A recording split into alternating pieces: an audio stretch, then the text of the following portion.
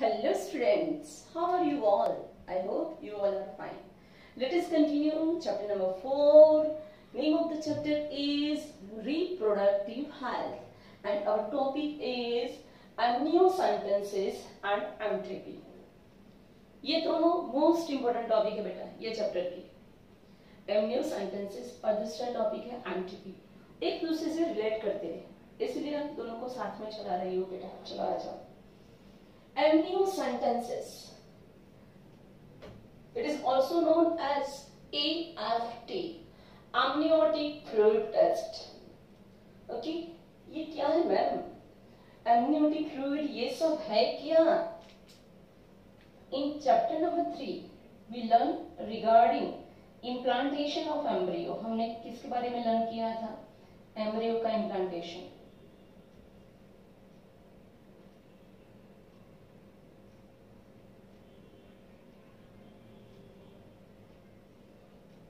Look here. This is uterus. This is a uterus. This is vagina. And embryo get implanted here. Embryo का implantation यहाँ पे होता है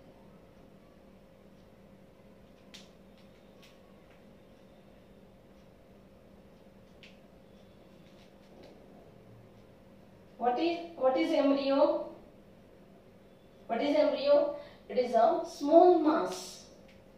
It is a small cell mass which is arise from cell division of zygote. Okay, क्योंकि fertilization हुआ मतलब sperm enter through vagina. They pass uterus and moves to uterine tube, fallopian tube में गया where ovum is present. Okay, sperm fertilizes ovum and zygote is formed. Once a zygote is formed, it immediately divides into two cells. 4 cell, 8 cell and 16 cell. समझ में आया clear now 16 cell further divide into 32 cells अब उसमें से क्या बन जाएगा बेटा? एम्ब्रियो बन जाएगा। Now that embryo implant into the endometrium of uterus यहाँ पे इम्प्लांट हो जाएगा। Okay okay? ये छोटू सा सेल है उसको हम क्या बोलते हैं बेटा? Embryo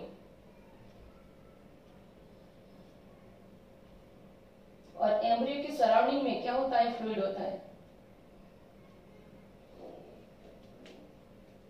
Okay this bag like structure okay उसको क्या बोलते हैं? एमनियोटिक सैक क्या बोलते हैं बेटा? एमनियोटिक सैक और उसके अंदर जो फ्लूड होता है it is known as amniotic fluid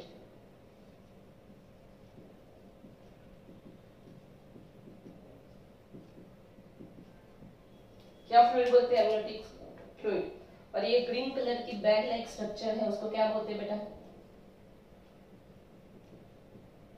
amniotic से।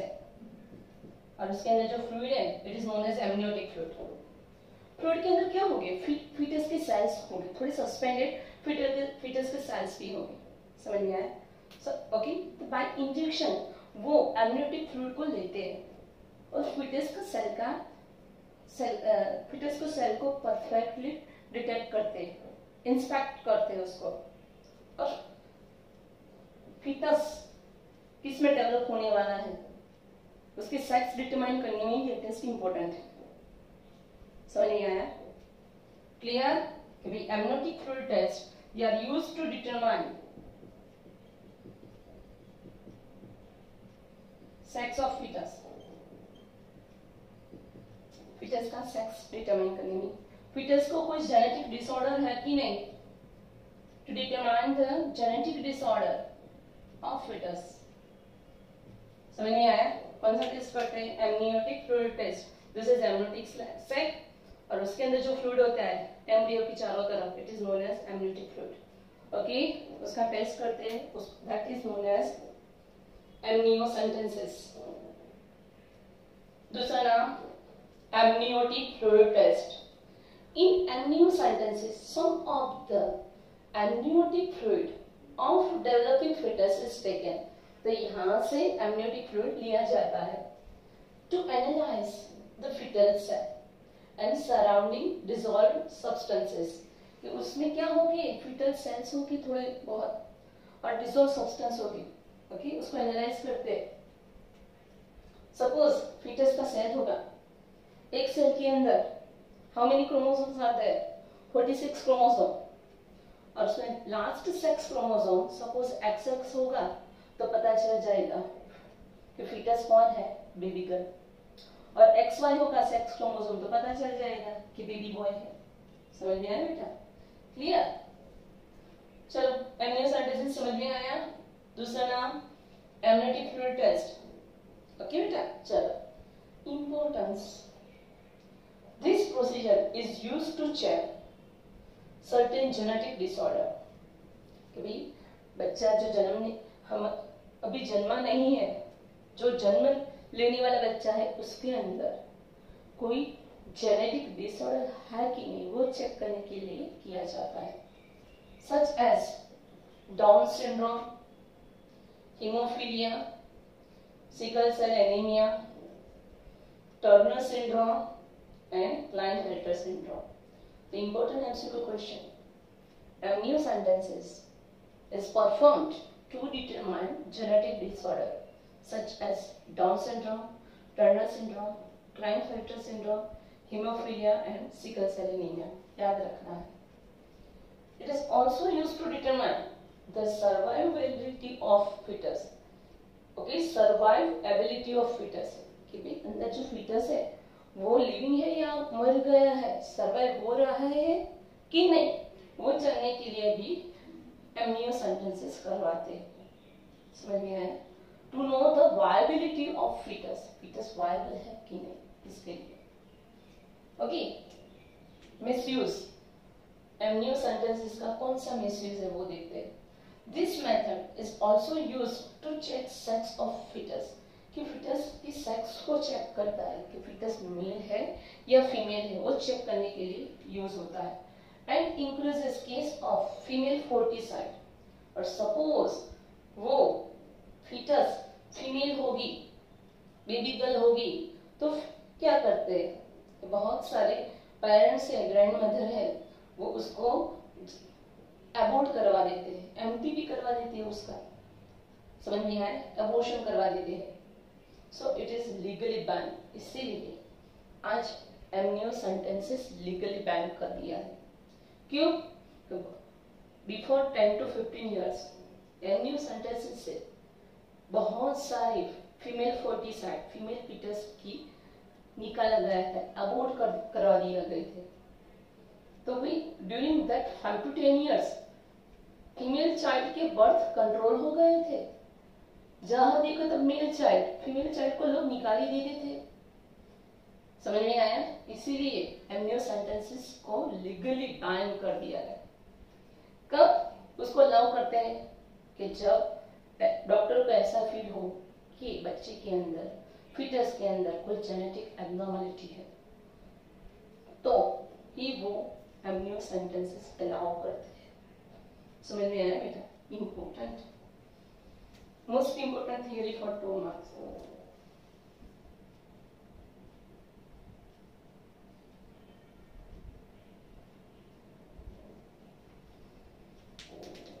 Now, our next theory is MTP, medical termination of pregnancy. It is also known as induced abortion. समझ लिया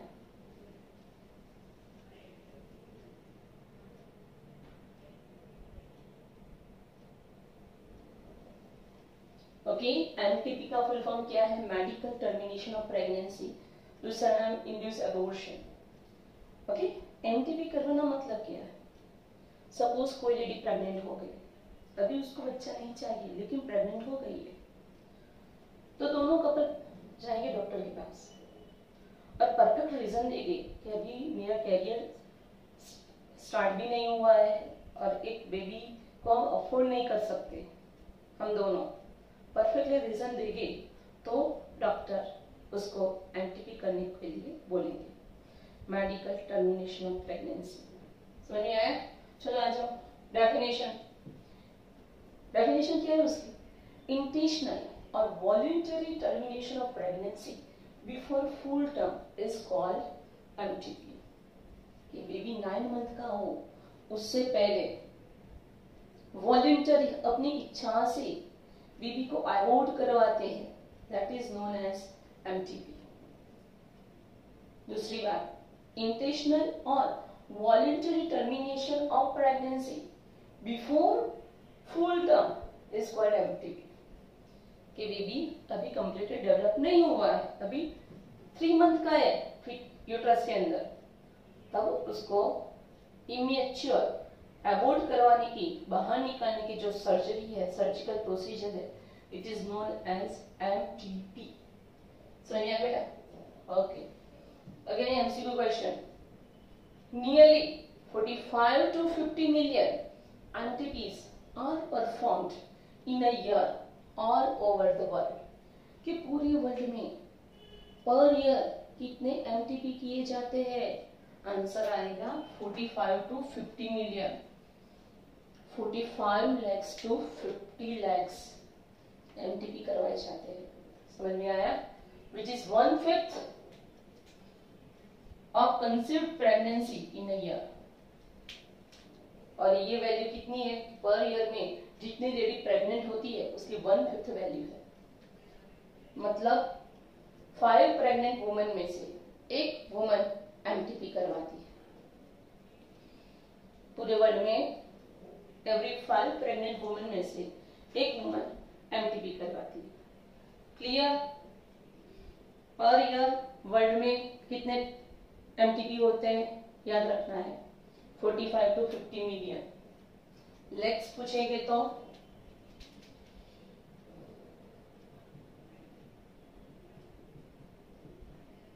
Forty five lakhs to fifty lakhs समझ आया? Okay चलो। Government of India legalize MTP in which year ये लिखा question board का भी government of India legalize MTP in 1971 to avoid its misuse ये भी लोग एमटीपी का कैसे मिसयूज करते हैं? कि भाई प्रेग्नेंट हो गए, अभी मैरिज भी नहीं हुआ, और वो गर्ल्स प्रेग्नेंट हो गए तो एमटीपी करवा देते किसी को कुछ पता भी नहीं चलता तो मिसयूज हुआ वो समझ में आया? क्लियर ओके चलो। तो government of India legalize MTP in which year in 1971 year याद रखना। Such restriction are important in India to control female foeticides. Foeticide का मतलब क्या है? फिटस की फिटस की डेथ इंडिया के अंदर सपोज़ फिटस अभी यूट्रस के अंदर है बेबी गर्ल और पता चला कि वो लड़की है। तो उसको यूट्रस के अंदर ही मारा जाता है। अबोर्ट करवाया जाता है, निकला जाता है बिफोर डेवलपमेंट समझ में आया? और उसके लिए एमटीपी जनरली पहले यूज़ करते थे। इसीलिए गवर्नमेंट ने बैन कर दिया बेटा। चलो आज कि such restriction are important in India क्यों?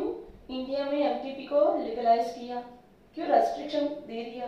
टू कंट्रोल फीमेल फर्टिसाइड कि फीमेल मतलब गर्ल चाइल्ड फॉर्म होते थे सब उसको मार देते थे। इसीलिए एमटीपी को लीगलाइज करवा दिया। ओके तो ये उसकी डेफिनेशन एंड जनरल इंफॉर्मेशन थी। अब आया in which cases MTP are used कौन से केसेस में गवर्नमेंट एमटीपी अलाउ करती है? First to get rid of unwanted pregnancy किसी को प्रेगनेंसी से छुटकारा चाहिए। कोई कोई लेडी प्रेग्नेंट हो गई, लेकिन वो बच्चे को जन्म नहीं देना चाहती और उसको, उसमें से छुटकारा चाहिए तो वो क्या करवाएगी? MTP okay so first to get rid of unwanted pregnancy either due to ये प्रेगनेंसी क्यों फॉर्म हुई है? Unprotected intercourse during intercourse physical barrier condoms नहीं यूज़ किए। समझ में आया? क्लियर तो उससे प्रेगनेंसी रह गई। ओके तो ऐसे मैरिड कपल बोल सकते हैं डॉक्टर को जाके। ओके वही एमटीपी करवाना है।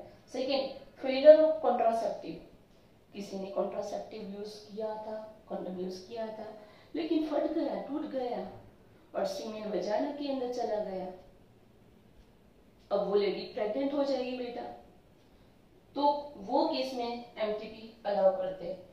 Failure of the contraceptives. And third, reps. कि बहुत अभी क्या हो रहा है?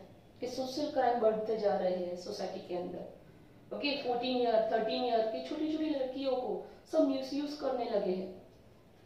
ओके बच्ची को पता भी नहीं है कि ये सब क्या है। लोग उसको क्या करते हैं? मेंटली मेंटली हरास करते हैं फिजिकली हरास कर देते हैं और उसको प्रेग्नेंट बना देते बेटा।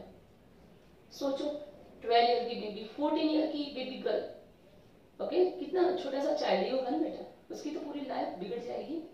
तो वही केस में in case of rapes okay rape के केस में एमटीपी अलाउड करते हैं।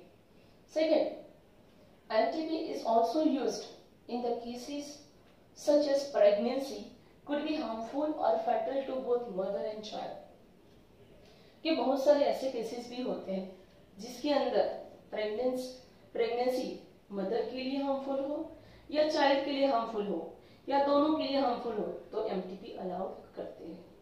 तो ये भी टू मार्क का क्वेश्चन है कि कौन से केस में एमटीपी अलाउड करते हैं? Important clear next topic MTP कब करवाना चाहिए? एमटीपी कब करवाना चाहिए? तो भाई MTP is safe during first trimester trimester का मतलब फ़र्स्ट थ्री मंथ उसको फ़र्स्ट ट्राइमेस्टर बोलते हैं। वन मंथ में कितने वीक होते हैं? फोर वीक तो थ्री मंथ में कितने वीक हो गए? Twelve week so MTP is safe during first trimester मतलब थ्री मंथ वीक में पूछेंगे तो twelve week of pregnancy important MCQ question second trimester is very risky second trimester में मतलब सिक्स मंथ में एमटीपी करवाएँगे तो वो रिस्की होगा, उसकी मदर की लाइफ के लिए। एमटीपी करवाएँगे तो बच्चे की लाइफ तो जाने ही वाली है बेटा। बच्चे को तो निकालना ही है, बच्चा कितनी लाइफ को जाने वाली है। लेकिन साथ साथ में मदर की जान को भी खतरा होगा किसमें सेकेंड ट्राइमेस्टर में करवाएँगे तो। है ना बेटा? सेकेंड ट्राइमेस्टर मतलब twenty four weeks six month clear okay लोग जनरली एमटीपी कहाँ करवाते हैं? क्लिनिक में। वो भी एमटीपी कानून नहीं करवाते। अनलीगलाइज करवाते हैं। तब एमटीपी करने वाला कौन होता है? वार्ड बॉय होता है। नर्स होती है। प्रोफेशनल नहीं होते वो इतने। समझ में आया? तो in clinic majority of MTP performed by unqualified person कि एमटीपी करने वाला जो पर्सन है मोस्ट ऑफ़ क्लिनिक के अंदर अनक्वालिफाइड होते हैं। डॉक्टर को करने में डर लगता है, पकड़े जाने की बीक है। समझ समझ में आया तो जो करता है वो कौन है? Unqualified person which is not safe and leads to death मतलब फैटल है। रिस्की है। ओके मदर की जान पे बनाएगी वे मिसयूज ऑफ़ एमनियो सेंटेंसेस कि भाई एमनियो सेंटेंसेस का मिसयूज किया है? सबको पता है। क्या है? बोलो तो एमनियो सेंटेंसेस का मिसयूज बोलो तो बेटा।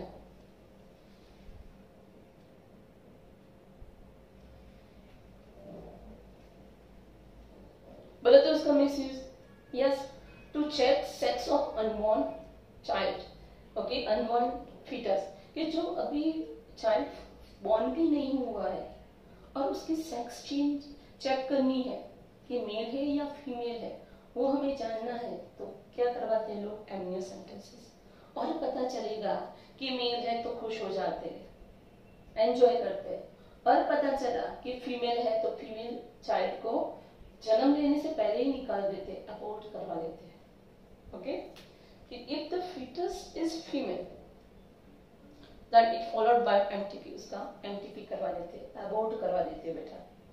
Which is dangerous for both young mother as well as foetus foetus तो निकलने ही वाला है एमटीपी मर ही जाने वाला है। लेकिन मदर की भी जान जा सकती है। समझ में आया? Clear okay so this is two most important theory और दोनों एक दूसरे को रिलेट करती थी, इसीलिए मैंने साथ में चलाया। एक था एमनियो सेंटेंसेस शॉर्ट में देखते हैं amniotic fluid test amniotic fluid क्या होता है? कि जब एम्ब्रियो फॉर्म होता है, तब एक बैग लेग स्ट्रक्चर बनता है। उसको एमनेटिक सैक बोलते हैं। अंदर जो फ्लूइड है it is known as amniotic fluid उसके अंदर फीटस के सेल होते हैं और न्यूट्रिएंट सॉल्यूशंस होते हैं डिजोल्व मटेरियल होते हैं। अब जो फिटस का सेल है तो उसके क्रोमोसोम की स्टडी करेंगे ना तो पता चल जाता है कि फिटस में सपोज़ लास्ट क्रोमोसोम एक्स होगा तो बेबी गर्ल फॉर्म होगी। और एक्स वाई होगा तो बेबी बॉय होगा। समझ में आया? क्लियर तो वो टेक्निक को क्या बोलते हैं हम? एमनियोसाइटेंसिस दूसरा नाम क्या है? एमनियोटिक फ्लूइड टेस्ट यूजेस क्या है? टू डिटरमाइन द डिसऑर्डर उसके अंदर कोई जेनेटिक डिसऑर्डर है कि नहीं? वो डिटरमाइन करता है बेटा। ओके लोग मिसयूज क्या कर सकते हैं उसका? ये सपोज़ सेक्स डिटर्मिनेशन में मिसयूज होता है। कि डॉक्टर के पास जाते हैं और बोलते हैं, बताओ मेल है या फीमेल है चाइल्ड बेबी गर्ल है या बेबी बॉय है?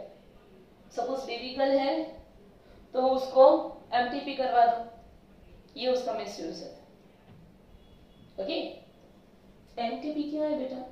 Medical termination of pregnancy voluntary termination of pregnancy before full term okay baby grow हो जाए, ज़्यादा डेवलप हो जाए, उससे पहले उसको निकाल दो यूट्रस में से, अपनी इच्छा से। It is known as MTP MCQ आ सकता है। पूरे वर्ल्ड में और यार कितने एमटीपी होते हैं? 45 to 50 million okay clear government of India ने उसको कब लीगलाइज किया था? 1971 to avoid the misuse of MTP okay बेटा? एमटीपी कब हो कर सकते हैं? तो ये उसके रीजन दिए हैं important for two marks MTP safe during which time? First trimester. And risky during second trimester. Clear बेटा? ओके और एमटीपी क्लिनिक में अनक्वालिफाइड पर्सन से करवाएँगे तो यंग मदर के लिए भी वेरी वेरी रिस्की है। फैटल है लीड्स टू डेथ एमनियोसेंटेसिस का मिसयूज क्या है to check sex of unborn child कि जो चाइल्ड अभी जन्मा भी नहीं है, वो मेल या फीमेल बनने वाला है, वो चेक करने के लिए यूज़ करते हैं। और पता चले कि फीमेल फीटस है तो उसका एमटीपी करवा देते हैं। समझ में आया मेरे? तो ये था हमारा आज का टॉपिक क्लियर ओके चलो गुड बाय